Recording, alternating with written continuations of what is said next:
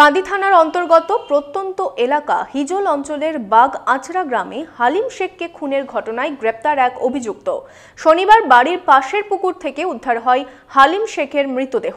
সোমবার অভিযুক্তকে কাঁদি মহকুমা আদালতে তোলা হয়। এবার পুজোয় স্কুটি পেতে আসতে হবে কাবেরিতে। জমজমাটি শারদ প্রাতে সোনা পাবেন হাতে হাতে।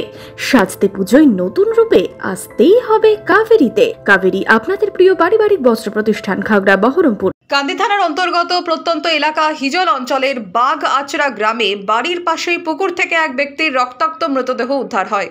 অভিযোগ, চাষাবাদ সংক্রান্ত পুরনো বিবাদের জেরে গভীর রাতে হালিম শেখকে ফোন করে ডেকে খুন করে প্রতিবেশীরা।